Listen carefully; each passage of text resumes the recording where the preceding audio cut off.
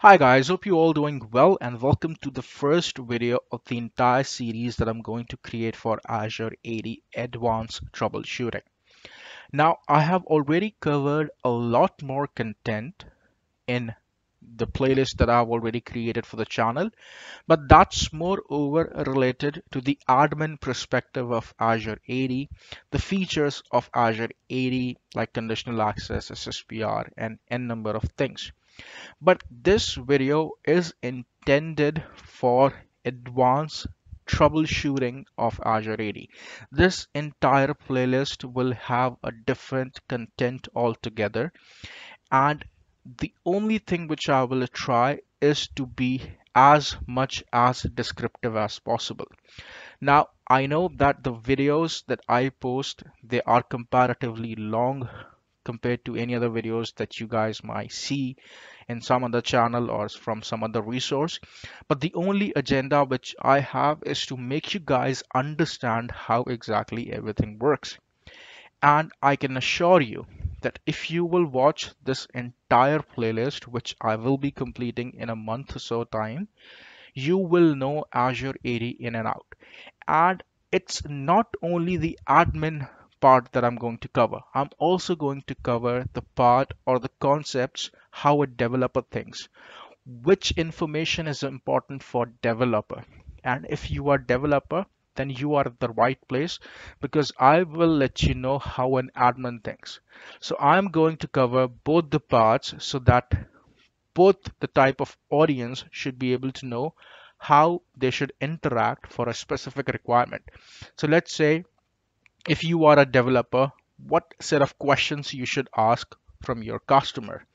If you are a customer, what question you should ask from your application vendor team. So I'm going to cover both the sides. So have patience, watch this entire playlist and you will know everything.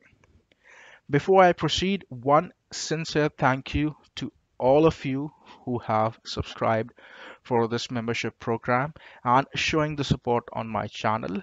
I'll try to raise or maintain the quality content that I deliver in each and every video. But if you guys have something to share with me, please use the comment section in any of the video, be it membership or be it the normal videos which are available on the channel. Now, since this will be the first video of the entire series, as I've said before, I'm trying to do a groundwork so that you should know both the sides and you should know the core concepts because if you don't know the core concepts you will not be able to troubleshoot the advanced capabilities which a solution like Azure AD has to offer. The next thing that I will be talking about is what are the different endpoints are used by different kind of applications depending upon the protocols that a particular application vendor is using. Now, then we'll talk about what are the different application types, okay, in which scenario the resources are shared or in which scenario is the resource that is again protected by Azure AD. And the last thing that I will be talking about in this particular video is in which condition as a developer you should use a particular protocol to get the best results. Now, this series has a certain prerequisites and there is a reason behind that. Now, I have already covered SaaS from an Azure AD perspective in a lot more detail and there are almost three videos which already exist in the channel and if you have not watched that video please go ahead and watch them because I have tried to do a groundwork in terms of explaining what were the traditional methods for identity, likewise local identities or claim-based identity model. And I have also created a series for OAuth wherein I have completed authorization grant. Now, the next step from there I will be covering here, but I would highly recommend you guys to watch those two series first and then watch this video and you will be able to relate each and everything.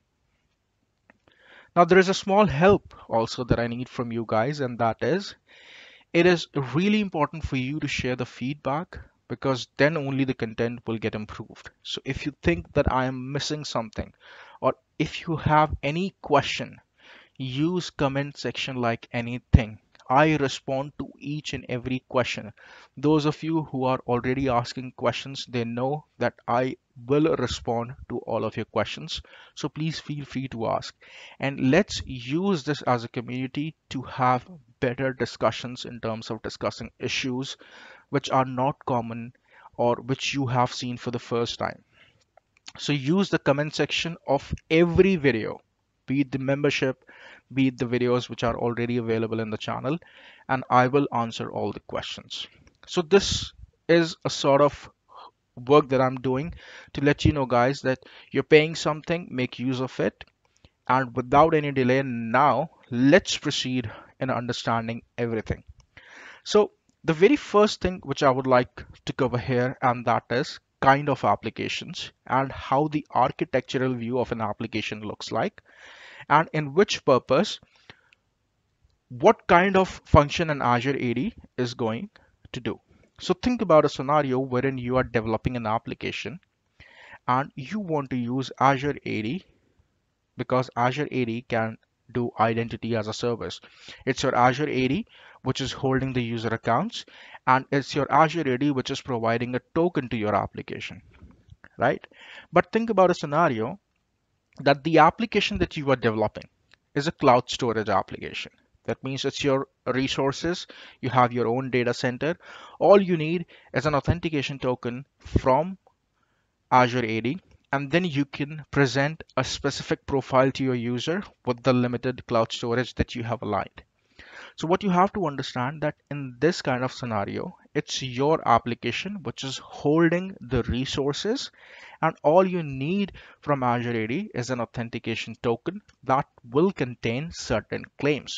Now, this is related to claim-based identity model that any attribute that belongs to a user object can be sent as a claim in the token that will be consumed by your application. Now, this idea is not new. You have many applications available in the market that are already doing this for you. Likewise, Box.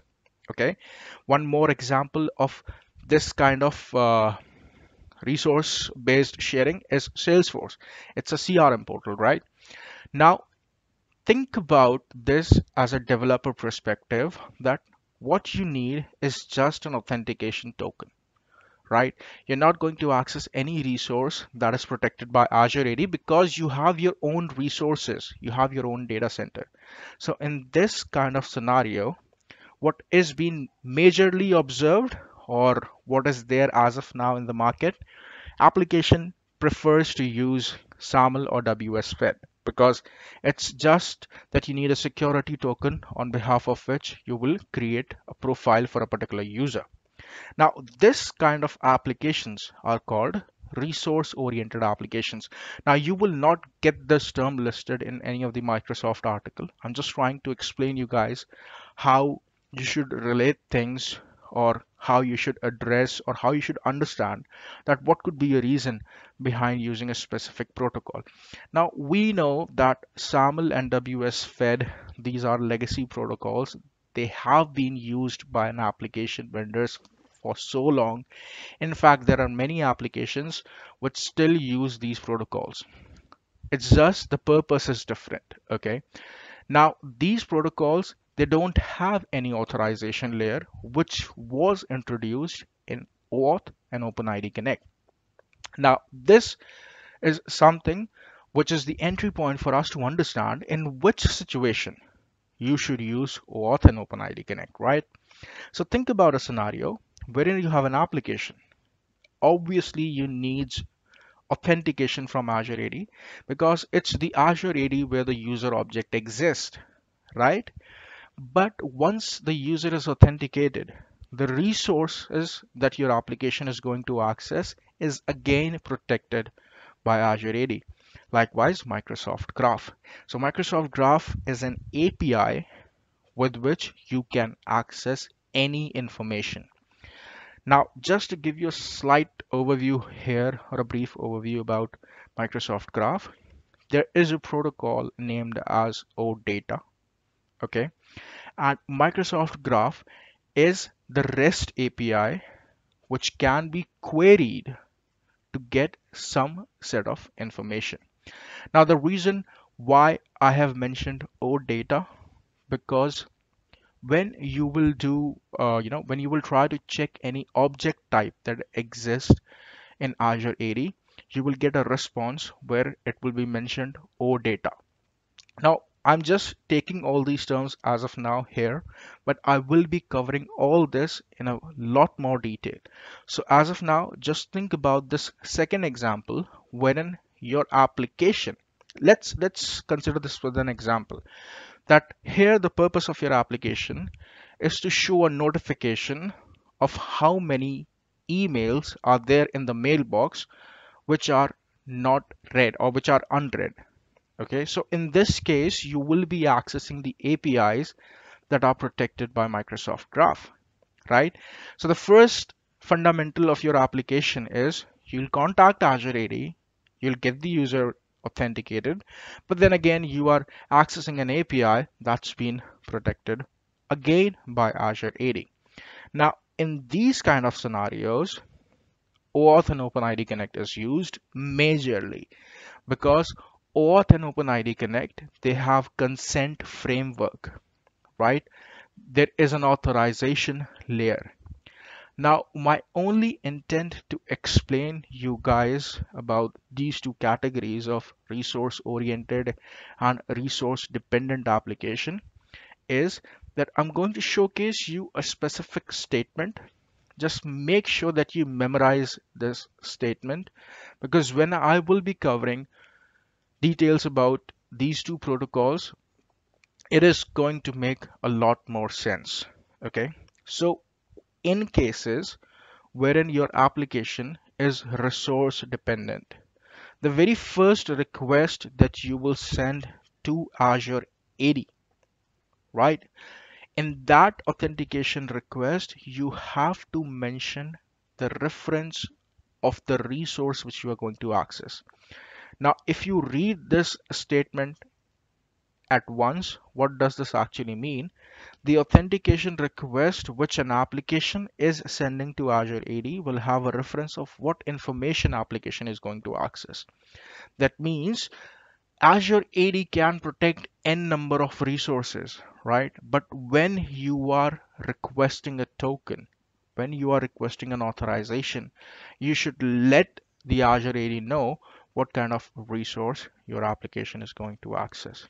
So these are two different types of applications. The first one was resource oriented, wherein the resource belongs to the application vendor itself. That means you as a developer. And the other one is resource dependent applications, wherein you your application will get an authentication token, but again, you're going to access some information that has been protected by Azure AD. Now let's take a step back and understand some more basics because this is something which will be the entry point of our next video. So before your application can even send the first redirect request to Azure AD, what you have to make sure that Azure AD or a specific tenant of Azure AD will be added or must be added on your side as a claim provider. That means I am developing an application and I'm developing that application for a specific customer. Now my application should send a request to a specific endpoint of a specific tenant that belongs to my customer. So in that case, there is a lot more configuration that I have to do as a developer. I have to use certain libraries, right? Just to name them as of now, I may be using ADAL or MSAL. I will be covering this in a lot more detail, but as of now, just understand that you are developing an application, which is let's say app.conceptswork.com. Now, as a user, when I go to app.conceptswork.com and when I click on login button, the authentication request should reach to a specific Azure AD's endpoint, right? Now, once the request has been received, the user is authenticated, Azure AD will send a response back to your application. Now what we have to understand here that there is an interaction happening between your application and your Azure AD, right? Now depending upon the protocols that your application is using, right? There will be different endpoints which will be accessed. So if you guys remember for SAML and WS Fed application, we used to share federation metadata, right? It's a common keyword that exists since ADFS and it's the common keyword that's been used globally with all the identity providers that if your application think about like this that you are a developer if your application is using ws fed or saml you need the federation metadata but in case of OAuth and openid connect there is something called well-known configuration. Now that's nothing new. It's the same set of information. Likewise which endpoints are available for a specific tenant what are the scopes that are available that can be requested. It's the same set of information. It's just a different term which has been used. So now if you are an admin and any application vendor contacts you and asks you that I want to use your Azure AD as an identity provider for my application, the first question that you have to ask is tell me which protocol you're going to use. Okay.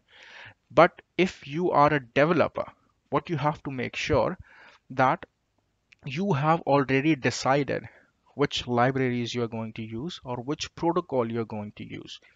Because think about like this, as a developer, you cannot have authentication method user specific. Now, what do I mean by this? That for some users, my application should use SAML. And for some users, my application should use OAuth or OpenID Connect. That's not possible because you are going to develop or you're going to write a code or a specific set of lines for an authentication handler that you're going to design, right? So you have to make sure or you should decide this first that which protocol you're going to use for your application get the code implemented and then contact your customers and say that I'm going to use your Azure AD as an identity provider and the protocol that I'm going to use will be OpenID Connect for an example or will be SAML. So this is the entry point for both the sides, be it admin or be it the developer to know which protocol I'm going to use and how the interaction is going to happen between the identity provider, which is Azure AD, and the application. Now what I'm going to do is I'm going to switch to my browser and show you guys where to find this information. So this is something which I have already covered in SaaS playlist, but still I'll show here because the options are changed a lot. So as an admin, you can go to Azure AD and then click on app registration and do not register any app as of now. Just click on this option which says endpoints. The moment you will click on this option, this is the list of all the endpoints for which Azure AD can receive requests. Now, if your application vendor says that I want to use SAML or WS Fed, then give them this particular link which is the federation metadata and this has the details for SAML endpoints and the claims that can be issued.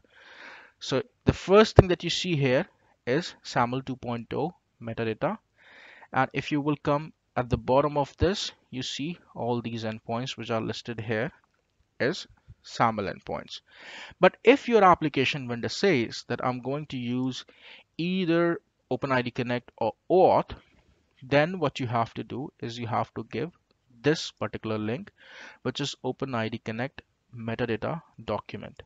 Now, if I open this link, you can see I'm getting the list of all the endpoints. Now, those of you who have already completed the OAuth playlist, they will be able to relate this because there are two type of endpoints which are used in OAuth and OpenID Connect. The first one is authorized and the other one is token endpoint. So as you can see, the moment you will access this particular endpoint detail, you'll get all the endpoints which are available. Likewise, token endpoint and then authorize endpoint. What are the scopes that can be requested? So this is just the first step that you are doing as an admin, providing the federation metadata or providing the endpoint details to your application vendor. The next step will be registration of an application that I will be covering in the next video. But just to make this thing relatable to you guys, this information is public. Now, what do I mean by this? That you can access the federation metadata of any Azure AD. Now, why do I, I'm saying like this? That if you see this address bar, there is a GUID here. This GUID is actually the GUID of my directory. But let's say if I type microsoft.com, I can access the endpoints of Microsoft's directory. Or you can replace this with any domain that exists in Azure AD and you will get the relative information. So as of now, if I type my domain, let's say conceptswork.com, you see I'm accessing a different information now. And this does apply to the WS Fed and SAML endpoints as well. So if I go here and now type, let's say microsoft.com, I'm accessing the federation metadata of Microsoft's tenant. So if I come down you can see that this GUID that is getting listed now is Microsoft's tenant GUID.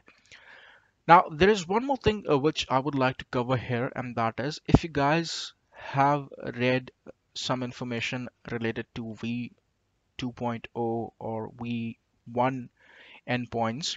So it's basically the versioning of the endpoints that has been done. So all these V1 endpoints they support ADAL, whereas this V2.0 endpoints, they support MSAL. Now, the basic difference between ADAL and MSAL is that with ADAL, so if you are a developer, you make you can use either Azure AD authentication libraries or Microsoft authentication libraries. ADAL stands for Azure AD and MSAL stands for Microsoft Authentication Libraries. Now the basic difference between these two libraries is that if you are using ADAL, then you can only get the users authenticated which exist in a particular directory, in a particular Azure AD. But if you use MSAL, then you can get the users authenticated which have Microsoft account as well. Likewise, Live, Outlook, or Hotmail you know these are the different set of options which are available as of now. So you have to make sure that when you're writing code you know you should be using a specific authentication library. And then you can choose these endpoints. Now from an admin perspective this is something which has to be taken care by your application vendor itself. But there is a decision making process that belongs to you that for a specific application that you're adding in your tenant, what kind of users you would allow to sign in that particular application, which is again I'm covering in the next video because over there I will be talking about app registration. Now there is no rocket science, there is nothing complicated in terms of checking the well-known configuration for V1 or V2 endpoints. It's absolutely simple and I'll show you how. So this link that you get here is v2.0 endpoints well-known configuration, right? If I copy this and if I go to other tab and I access this, I'm getting v2.0 endpoints list. And just observe one basic difference that for every endpoint I'm getting this v2.0 right? You see this? I'm getting v2.0 now all I have to do is I have to delete this v2.0 that's it. This is the v1 endpoints so everything is very simple. All you have to do is you have to relate the concepts that what could be the purpose of v1.0 endpoints or what could be the purpose of v2.0 endpoints now microsoft is pushing like anything for everyone to migrate to v2.0 endpoints, but there are certain limitations for v2.0 endpoints, which I will be covering in a lot more detail when I will be talking about ADAL and MSAL respectively. So just to summarize this endpoint part once again, if your application is using WS-Fed and SAML, you have to share the federation metadata specifically mentioned in the endpoint section. If your application is going to use OAuth and OpenID Connect, then choose the well-known configuration. And this is the part which can be customized depending upon the versions that you want to use and your developer want to use. Now, one more very basic thing which I have addressed before as well, and that is all you have to do is you have to replace this GUID part with any of the domain and you will get the respective set of information for either WS Fed SAML or OAuth or OpenID Connect. So I have covered a lot more detail about the application type, the endpoints, and this is very, very basic because if your application is sending a let's say query to this particular endpoint and by mistake they are they have embedded a wrong GUID or they are querying a wrong domain the request will not go through okay? So these are very small small things which you should know and it's a must know information for you to actually segregate where will be the issue. Is it the Azure AD or is it the application? So now let's talk about a quick summary of what all we have discussed in this first video. It's the basic core concepts that we have discussed about how the applications operate and what are the different endpoints that you should give to your application vendor and in which case what kind of protocol is used. Now as I've said before that since the experience of app registration has been changed like anything the next video I'm targeting to add an application first and then we'll move on with authentication troubleshooting. So thank you so much guys. Thanks for your time. If you have any feedback, any question, use comment section. And if you have learned something new, please feel free to share my videos with your technical community. Thank you so much. Thanks for your time.